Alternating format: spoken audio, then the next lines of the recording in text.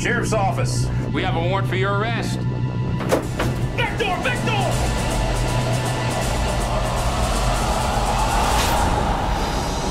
Deputy Thompson has now survived his rookie year. Guess that means you can start using real bullets now. When you get married, have some kids, you're gonna figure out real quick how much you don't know. You missed Emily's piano recital.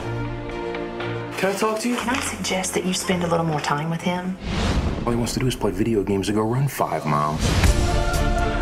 What are you doing home? They let me go. Do you really feel like it messed up your childhood not having a dad? More than you know. Adam, I need you to come with me right now.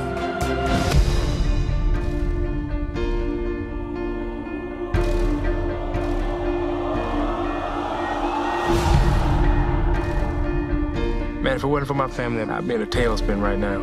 You do heal, but you're never the same. I want to know what God expects of me. My life is letting me down the road. I've been doing about half of what I should have been doing as a dad. You're being too hard on yourself.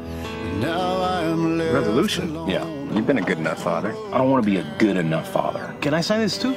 I don't feel like I started well. I want to finish well. If you're gonna do this, then do it right. Something like this needs ceremony. I feel like a rich man. As your father, I want the very best for you. I promise to take care of you.